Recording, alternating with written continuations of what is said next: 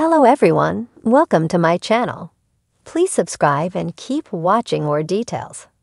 Coronation Street exit after 17 years for beloved character after turbulent year.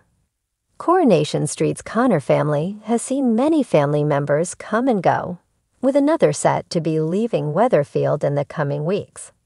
Coronation Street's Ryan Connor, played by Ryan Prescott, is seemingly set to leave the Cobbles next week. He recently started dating Crystal Hyde, Erin Austin, who asked him to move to Glasgow with her for a permanent residency DJing. He began dating Crystal once again after Daisy Midgeley, Charlotte Jordan, admitted that they could not be together and their affair was a mistake. Being unable to stay in Weatherfield and watch Daisy go on with her life with Daniel, it seems Ryan has made his decision. Official ITV spoilers have revealed that Ryan decides to league with Crystal and says his goodbyes to residents, including his aunt Carla Connor, Alison King, and heads away in a taxi.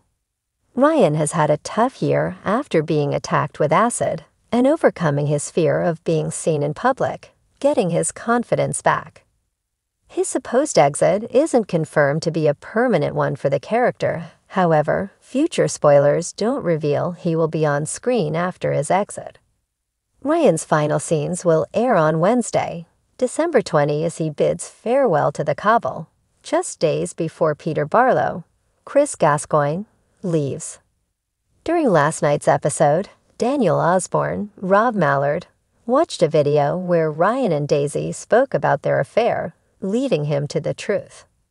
Ryan suffered severe burns to his face, and after months of hospital treatment, Ryan struggled to settle back into life on the cobbles. His decision to move to Glasgow with Crystal will come as a huge blow to Daisy, as she soon admits to Daniel that she slept with Ryan, putting their relationship on the edge.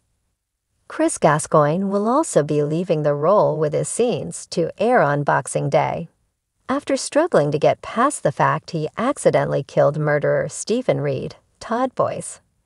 Peter actor recently spoke to Metro.co.uk and said he is in hell and he is fighting through fear. But when he knows that Jenny is pretty adamant she would have been Ock, that really starts to affect his mental state of mind.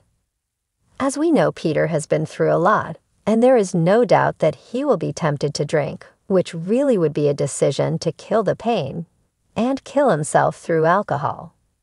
He knows that. This is a real danger zone for him.